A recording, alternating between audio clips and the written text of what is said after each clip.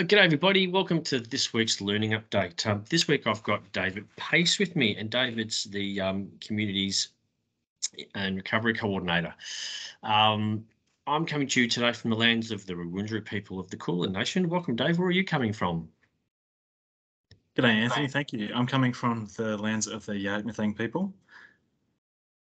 Cool, awesome. And this week we're going to have a bit of talk about um, the recovery work that you guys are doing, and we're really interested to hear what's happening in terms of recovery uh, around the state. Sure, thanks Anthony. Um, yeah, I'm happy to talk to that. So what's uh, what's happening in different parts of the state? So what's happening down in East Gippsland, for example? Uh, yeah, so what what we're seeing is the recovery of communities has been quite mixed. Even though it's two years on, what we keep saying is that recovery is a really long journey. And often, even though that we're there for a couple of years, it's still not enough to really support everyone in their recovery journey. Um, so it's been quite a mixture. We've got to remember that communities are made up of hundreds, sometimes thousands or a dozen people, uh, and really varies in size. And every one of those people is going through something different. Um, because of COVID, especially, uh, it means that one of the most important things, being just being able to relate to and talk to other people in person and feel that connection again, has been really quite difficult. So some people are still saying that even though it's been two years since the fires, it still feels like the first six months. Wow, that's that's remarkable. And and you're telling me the other day that there's not much housing stock, particularly in East Gippsland, that's actually been rebuilt after those fires. Yeah, so the latest statistic that we got from DFFH was that only around 10% of housing stock that was lost in the fires has been rebuilt. Wow, that's that's, that's a frightening figure, isn't it? Really. Yeah, so some people are coming to terms with the cost of that rebuild and whether they can actually afford it anymore.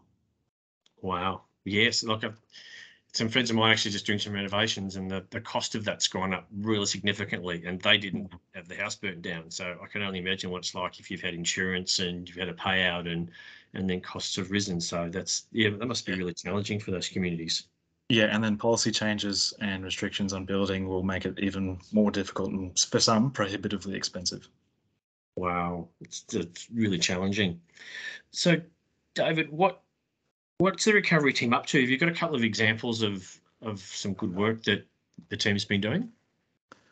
Uh, yeah, so in the last few months, the team's been up to a lot of work and uh, remembering that it's really long term work. So, something that we do today will pay off a bit later on. Um, so, some examples uh, Jess Davison is working in the Northeast across Alpine and Towong Shires. Uh, and actually, tomorrow I'll be visiting her to deliver the Ready Community Sessions, which is essentially RediPlan, but for a whole community. Um, and so in that, we're inviting different people. We're inviting community members, we're inviting emergency services, government, people from the health network to all come together and be in the same room to discuss how to progress with that community's recovery and their resilience work as well. Fantastic. So we all we all know what a RediPlan is. Um, so ready communities just is a RediPlan for the whole community, which is just fantastic. So it's all about being prepared for the next one and um, well-being and, and all those great things um, that we have in the RediPlan. Wow, that sounds like great work. Um, Dave, tell me about your work in Mallacoota. Uh, sure. So I was the recovery officer in Mallacoota and Far East Gippsland. Now, as you said earlier, I'm the coordinator for resilience and recovery.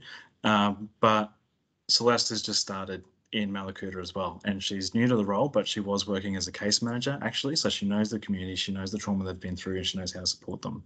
Uh, when I was there last year, some of the projects that I worked on, we um, developed a actually a dinner series um, for people who had lost their homes and invited them to that, thinking that at the time people felt quite alone and quite isolated and they couldn't really connect with other people because of what they'd gone through.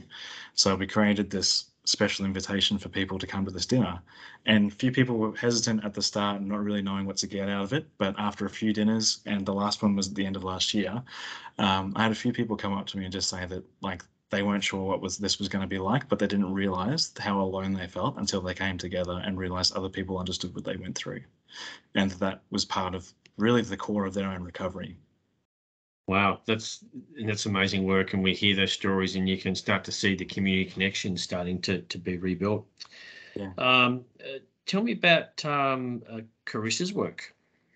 Yeah, Chris has come to bushfire recovery from previous experience in drought recovery, and she's been doing a lot of work to support the um, local government in providing their social opportunities and, and networking opportunities for locals. So a lot of dinners, a lot of lunches, and a lot of um, big events and things where people can really connect and get to know each other again.